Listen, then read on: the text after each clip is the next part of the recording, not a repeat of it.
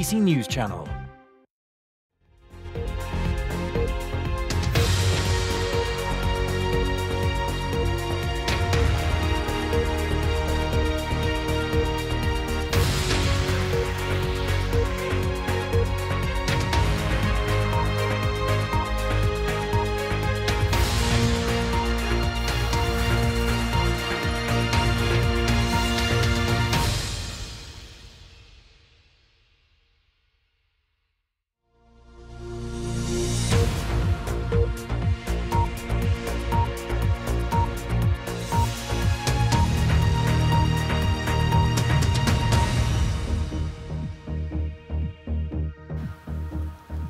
Hello and welcome to BBC News. I'm Reged Ahmad.